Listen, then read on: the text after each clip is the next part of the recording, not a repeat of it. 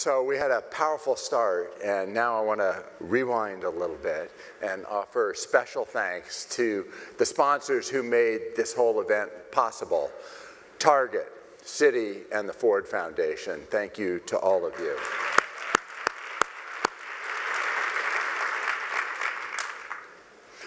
To appreciate the kind of recommitment that we have to have, it's helpful to recall that all the living presidents called for what they called for 20 years ago in Philadelphia at the summit where America's Promise was born, as I mentioned earlier.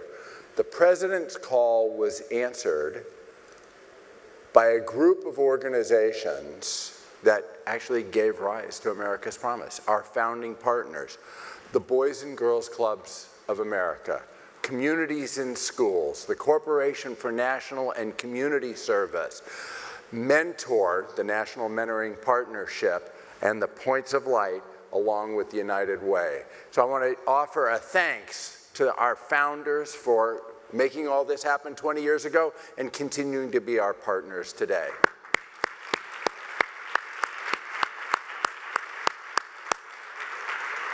We've been listening to the voices of young people throughout the morning, sometimes in song, sometimes in words, and we want to recognize a few more exceptional young leaders. Those of you who are here today, I know so many of you are, are, are all familiar with AT&T's commitment to the social sector and to young people in, in particular. So it's especially fitting that AT&T is partnering with America's Promise to announce an, and award, a new award um, called the People of Promise for young people who are leading the way in creating opportunity for other young people. So to do the honors, I want to bring out my friend and five young winners of the People of Promise, Nicole Anderson, the president of the AT&T Foundation, come on out and bring out the winners.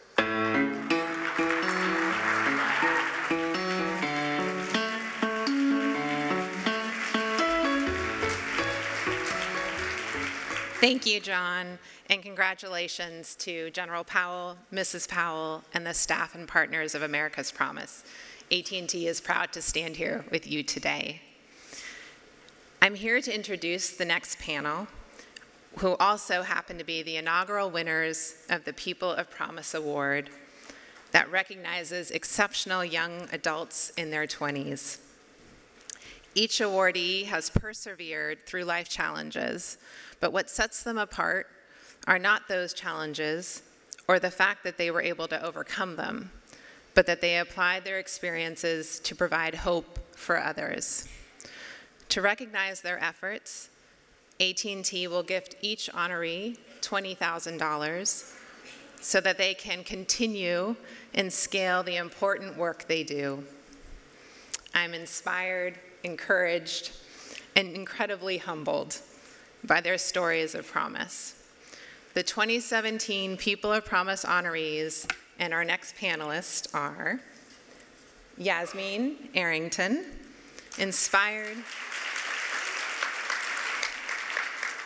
Inspired to be an agent for change, Yasmine founded ScholarCHIPS in 2010 to provide high school graduates with incarcerated parents, like her own father as she was growing up, mentoring, support, and funds to pursue higher education.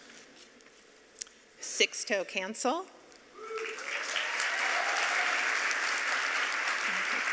So Sixto grew up in foster care.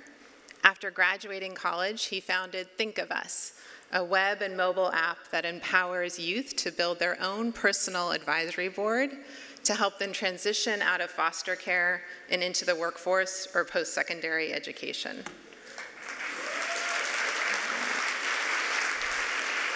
Next, we have Alejandro Gac Artigas.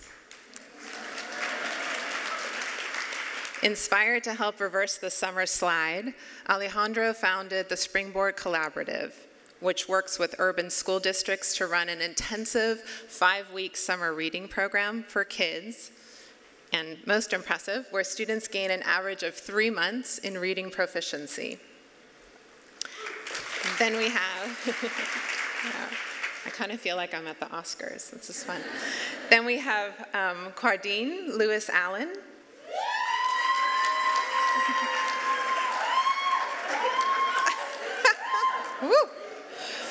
To combat the high levels of unemployment and lack of education of young people in his Brownsville neighborhood in Brooklyn, Quardean, there we go, the hometown, Quardean founded Made in Brownsville, a youth creative agency and innovation hub where mentors working in creative fields train young people ages 14 to 23, 24 through 12 week apprenticeships. Hmm. And our final People of Promise awardee goes to Lawrence Law Loving. so after college at Tulane, Law returned to where he grew up in Appalachian, East Tennessee, to work for CareerConnect, which helps students who are not on track to go on to college get the mentoring and career exposure they need. He is currently working to expand CareerConnect from one pilot to 13 counties in East Tennessee.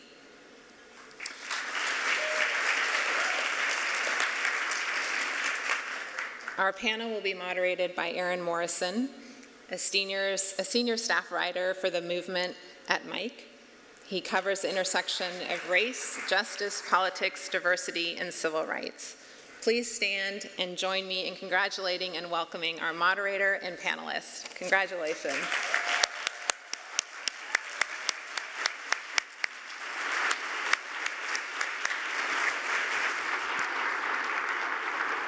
All right. Well, they've certainly already congratulated you, but I want to say uh, congratulations to each of you for the incredible work that, that you're doing. And let's, let's tell them about it. Let's uh, talk a little bit about what you all have uh, accomplished over the years. And let me start with you, Yasmine. Uh, affording the, all the costs associated with uh, going to college is, is too hard for too many young people. Um, it's undoubtedly harder for young people who have an incarcerated parent. So um, why is it important to target this demographic uh, and make sure that they have an, an, equal opportunity to thrive? Thank you, Aaron. Um, well, that's a part of my personal story. I was born and raised in Washington, D.C., um, American. Uh, my, uh, my father has been in and out of jail and prison my entire life, and I'm 24 now. Uh, and as many of you know, there, I mean, and this is an estimate, quite many more, there are over 2 million youth in the United States with an incarcerated parent. Um, and so a lot of these young people, I mean, it, it's hard enough um, being in certain communities and marginalized um, communities uh, with zoning laws and, and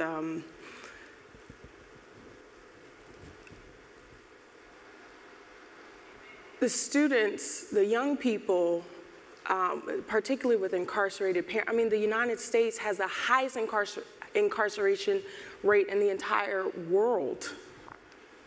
I mean, hello, but we promote education, um, which, which is important. But there's this whole entire population that is missing parents in the home. Um, th that's financial gap right there. It, it's it's an economic struggle constantly. I grew up in a single parent home. There's emotional struggles, um, questions like where are my parents? Do they love me? Right. So. I mean, it's absolutely critical to, as you, as you asked, Aaron, to target this demographic because we've got work to do. Um, It's still a very taboo issue uh, in, in this country. Many people don't talk about it, but most people know um, someone um, or, or, have a family member who is in fact incarcerated. Can you quickly though talk about um, what way your organization helps to, to uh, certainly uh, those those folks who are falling? Certainly, yes. So ScholarCHIPS, um, I started in 2010. At that time, I was a junior in high school, um, and um, ScholarCHIPS provides college scholarships, mentorship, and a support network for youth who have incarcerated parents uh, who are pursuing a college degree, uh, higher education, vocational training. Great, thank you very much. Uh, let's talk to Sixto. Um, you know, you uh, are someone I, I, met years ago. And it's kind of actually amazing to see uh, the work that you've done since we, we met about five years ago. Um, you know, as a national advocate for foster youth and, and having experienced the foster care system yourself, um, you know firsthand the importance of uh, responsible adults uh, being involved in young people's lives. Um, but how are young people today, and the young people that you work with, creating those networks uh, with, amongst themselves? Yeah, so when I look at what's happening with young people across the country, we are connecting more than ever online before. But yet, when I look at social services that's responsible for helping us in foster care to heal, develop, and then thrive, I just don't believe we've reached responsibility just quite yet. And let me explain. When I look at um, our systems, we have no real time data to have any type of real time action. So we don't even know what our cohort of young people that are currently in our care are experiencing. And so part of our work has been to, one, empower every young person to connect with um, a, a personal advisory board that's made up of staff in their program, that's made up of personal adults. So part of our work is figuring out how do we support the adults who are in young people's lives. And then this third part, which is uh, we're developing an AI system an artificial intelligence to understand that the strategy uh, uh, uh, that can be taken by technology, so being able to take zip code data, understand what's the best job for this young person based on their budget, personality, and what they want to do. These are things that the AI and the technology can become an expert, but technology is not meant to replace humans. So it is our vision to be able to take all that information and then empower the supportive adults that are in that young person's life to have some type of insight and expertise on how that adult can then coach them. Then then we take the data that is being produced and then saying to ourselves, what is going on in this system? So what do I do when I get data back that says, why does it take, why is it taking twice as long for African American males uh, for their educational requests to be fulfilled, right? So being able to understand on the uh, uh, real time what's going on in a county, in a foster care system in a county, and then converting that to go back and say, let's work through this. We know we all have our own stuff to work through, so we're going to come to the table to work through it, but we're going to work through it. Um, so, So, so there's, for a lot us, of, there's a lot of work to do. oh, you, you can say that again. Okay. Um, let's, uh, we want to make sure we get everyone in here. So uh, let's talk to Alejandro. Um, Alejandro, um, you created a literacy program that helped thousands of elementary schoolers in Philadelphia, New York, DC, and Oakland, California, which is my hometown, uh, learn how to read uh, a grade level by uh, fourth grade. So um, how were you able to garner the community support needed, the adult support needed to, to help that get off, off the ground? Yeah, totally. So in fourth grade, there's a, a fundamental shift. Uh, before then, children are primarily learning to read, and thereafter, children are reading to learn. Uh, if you haven't made that transition by fourth grade, you don't have the founda foundational skill set you need to be able to access the rest of your education. And once you fall behind, you stay behind. Uh, a kid who can't read proficiently by fourth grade is four times as likely to drop out of high school and once you add poverty to the mix, they're 13 times as likely. Uh, that translates into hardship further down the road. Uh, nationally, our, our uh, of low-income fourth graders, only 17% are reading proficiently by fourth grade, and not coincidentally, only 9% earn a college degree. Uh, our national poverty rate of 15% is largely explained by our adult illiteracy rate of 14%. Uh, when I graduated from Harvard in 2009, I joined Teach for America. I moved to Philly to become a first grade teacher. And I was living with two high school science teachers. I had to share my first grade lesson plans uh, with my roommates because so many of their 11th graders still didn't know how to read. I grew up in a family that had escaped political persecution and immigrated to the US so that my sister and I could have access to better uh, educational opportunities. And growing up in a house without money but with lots of ambition taught me two things uh, that get at the, the community engagement piece. One is that a child's education involves a whole lot more than just their schooling. And the second is that parents' love for their children is the single greatest and most underutilized natural resource in education. Appreciate that. So I founded Springboard uh, to tackle America's literacy crisis at its root. Uh, and our summer and after school interventions combine daily reading instruction for pre-K through third graders, weekly workshops training parents to teach reading at home, uh, and an incentive structure through which we award learning tools to families from books to tablets in proportion to their kids' reading progress. Since launch five years ago now, we grew from 40 to 4,000 kids in Philly, the Bay, uh, DC, and, and launching this summer right here in New York.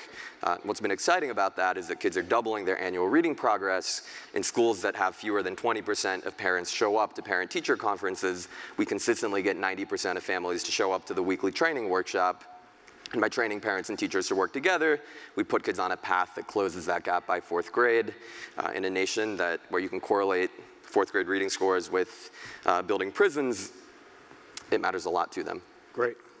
Uh, let's talk to our uh, hometown hero, uh, Quardean. Um, let's, let's talk about um, around the idea that adults um, have the responsibility, responsibility of keeping uh, the American dream um, alive for young people. Um, you've talked about the, the importance of apprenticeships.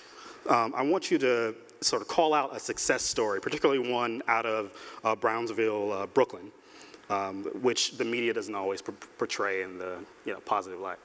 Sure. Um, so, you know, uh, you know we, we, need apprenticeship, but we also need like uh, enablers, I think, for those. Uh, my earliest enablers were, you know, um, they're in the audience right now, my mother and my grandmother, um, who, who essentially uh, uh, never told me I couldn't do something, right? Um, so so, but, but then there's a gap between like what they have, the resources that they enable, and then what I need to do to get to where I, I needed to go.